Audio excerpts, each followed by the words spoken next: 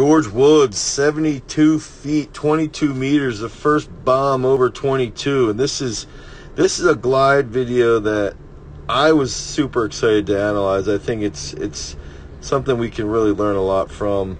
Uh, and I believe George Woods, you know, one of the best American throwers uh, to come out in in the 70s, and, and he just moves really, really well. Really powerful dude, just yoked as hell. But what I wanted to cover here is in the glide, and, and this is the world record at the time, is that he does stay slightly higher than if you think about with Timmermann. So you can see his hips here. His chest is a little bit higher, right?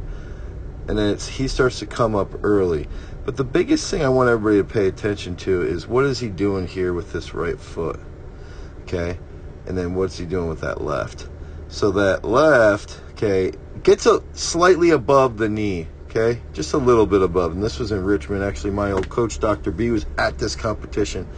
Um, but he stays on that flat foot for quite a while. So right in here, the, his right foot stays flat, and his left knee is past the the midway point. Now you can start to see that that foot starts to come up right as he's extending that left knee and that left hip. And then, and this is one of the hardest things to do in the glide is to think about Timmermann did this so well is, is this extension from the knee and the hip to get a little bit more drive to the front while maintaining that flat foot. And if we can just watch with George Woods' right foot here, this is extremely important. Watch how he comes off that heel.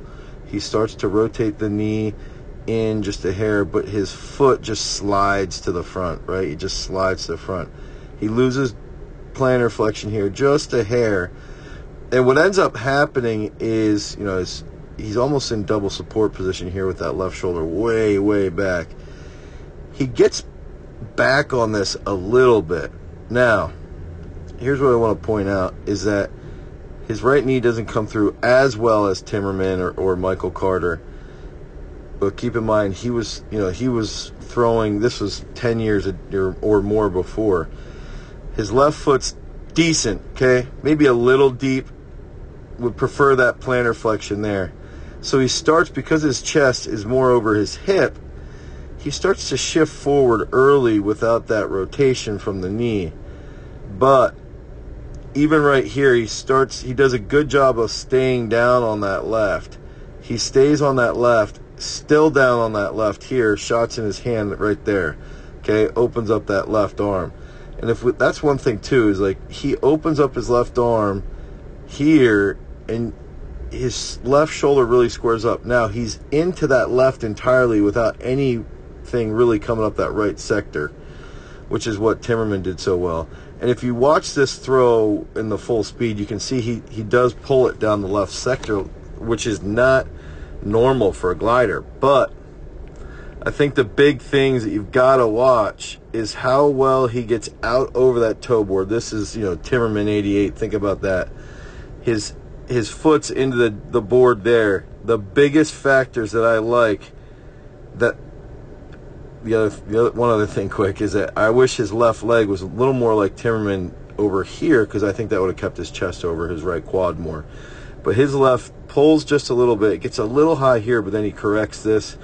He's so patient off of that right. This is his best position right here. Very quick with that right foot. Uh, just slides that forward. He's got the short, long position. Very patient with that left shoulder and very patient holding that grounded position here while the shot's still in his hand. This is, you know, at the time, this is the best technical throw probably in the world. And I would argue it's still a top 10, top 15 glide of all time very excellent. I just think he gets a little bit behind his quad here with the with the torso, and that leads to him pulling down that left sector line. So it's a slightly different movement from Timmermann, but still excellent. If you want more information about the glide, the rotational technique, and other throws based material, head over to throwsuniversity.com. Peace.